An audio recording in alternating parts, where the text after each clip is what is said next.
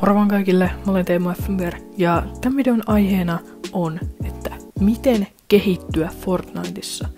Eli tässä videossa me käydään läpi joitakin perusasioita Fortniteissa, joita voisi jotenkin parantaa, että voisi itse tulla paremmaksi. Ja näitä ovat esimerkiksi buildaus ja edittaus ja aim, peace control ja crosshair placement. Ja mä myös tässä videossa annan myös jotakin hyviä vinkkejä, joita voi hyödyntää Fortniteissa. Ja tässä videossa on timestampit, että tätä videota ei tarvitse katsoa ihan loppuun asti, että voi katsoa tästä videosta vain sen osan, mitä itse tarvitsee kehittyäkseen Fortniteissa. Mut joo, mennäänpä itse videon parin. Eli siis nyt ekana mä kerron tästä buildaamisesta ja edittaamisesta.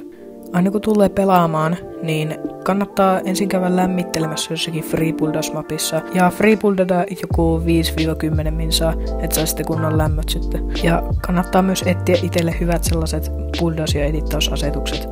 Ja suosittelen, että ohjaimella edittaatte jostakin vaikka Altatista. Silloin on helpointa oppia edittaamaan. Ja näppiksellä hiirellä jos pelaa, niin kantti edittaa eestä tai Fstä. Se ihan miten itse haluaa. Ja muistakaa se, että settingsit vaikuttaa PCllä ja konsoleilla eri tavalla, koska konsoleilla on input deleitä enemmän kuin PCllä. Joten jos laittaa alhaiset settingsit konsolilla, niin sitten tulee ole kyllä aika vaikeaa edittää ja buildaa. Niin kannattaa etsiä sitten sellaiset omat asetukset, mistä itse tykkää.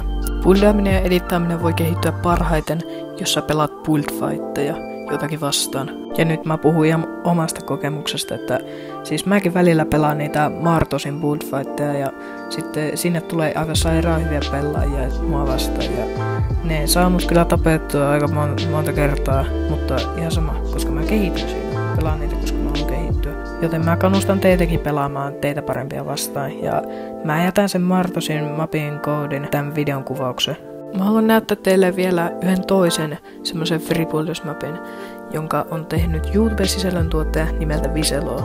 Ja tää on Smooth Crank Simulator.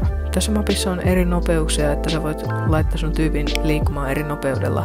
Tää voi auttaa sua opettelemaan uusia mekaniikkoja ja saamaan parempaa crosshair placementtia. Ja tämänkin mapin koodi tulee videon kuvaukseen. Seuraavaksi me siirrymme Aimiin. Onko sun kaverit koskaan valittanut sulle, että sä poraat liikaa? No, joskus se tarkoittaa, että sulla on hyvä Aimi SMGllä.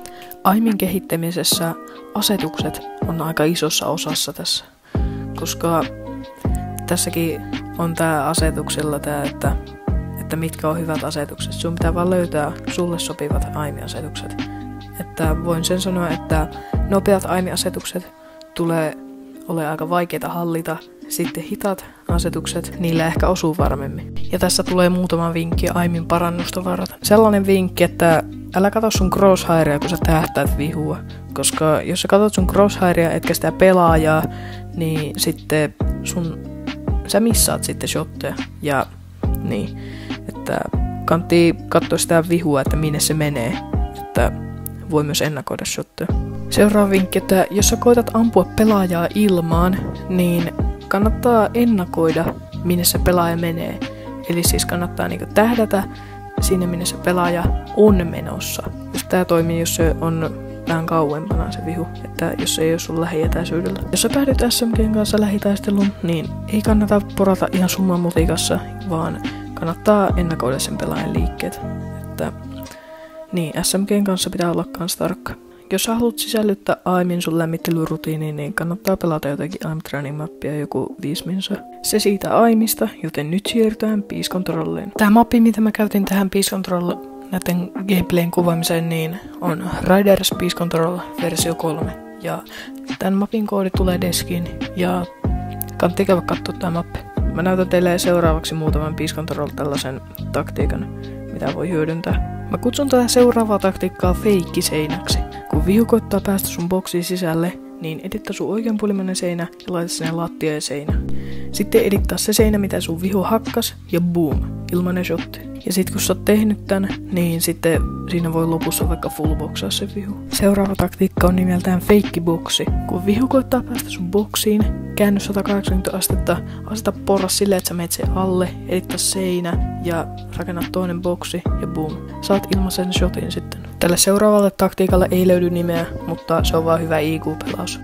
Jos sä saat sun vihun lattian kounin, niin tee sille, että edittaa ne lattia kouni ja sitten laittaa siihen vielä seinä ja sitten edittaa siihen ikkuna editti ja sitten hyppää. Näin saat hyvän piikin siihen. Jos sä haluat laittaa Peace sun lämmittelyrutiiniin, niin kannattaa pelata tää Control mappia joku 5-10 minuuttia. Ja nyt siirrymme tämän videon viimeisen osioon, nimittäin Crosshair Placement. Crosshair Placement riippuu siitä, kuinka paljon sun crosshairi liikkuu siinä, kun sä puiltaat. Eli siis toi sanoen se voi sanoa, että kuinka laajasti sä edittaat. Joo, se kuulostaa ehkä vähän tyhmältä, mutta joo, sekin on ihan järkevä. Mutta niin, jos sun buildit on sille, että sä, se niinku flikkaa paljon, sä niinku flikkaat paljon, kun sä buildat, ja ei ole, ei oikein vakaa, että sä edittaat sille laajasti, niin silloin sulla on huono crosshair placement.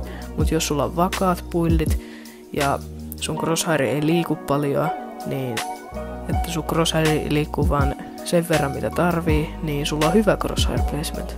Mä olen pelannut high ja low asetuksella ja mä voin sanoa, että low asetuksella saa paremman crosshair placementin.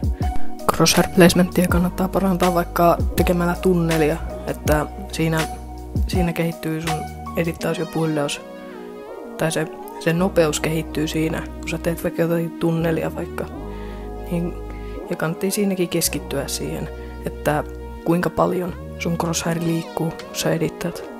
Ja jos et sä vaikka osaa puilaa nopeasti tunnelia, niin tässä, tässä mapissa pystyy harjoitella sitä, tässä Viselon mapissa. Juu, kiitos kun katsoitte tämän videon loppuun asti, tai no ihan sen mitä tarvitte, niin kertokaa ihmisiä kommenteissa, jos teillä on jotakin vinkkejä näihin, mihinkään näistä.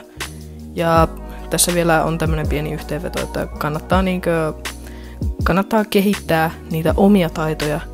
Ja sitten kun sun omat taidot on hyvät, kannattaa sitten harjoitella uusia taitoja, kun omat taidot tarpeeksi hyvin. Ja jos teillä on jotakin ongelmia, missä te tarvitte apua, niin kysykää ihmeessä. Mä tuun vastailemaan niihin kyllä. Eipä mulla tässä muuta, että koodi Teemu FMBR Shoppiin ja joo, nähdään ensi videossa.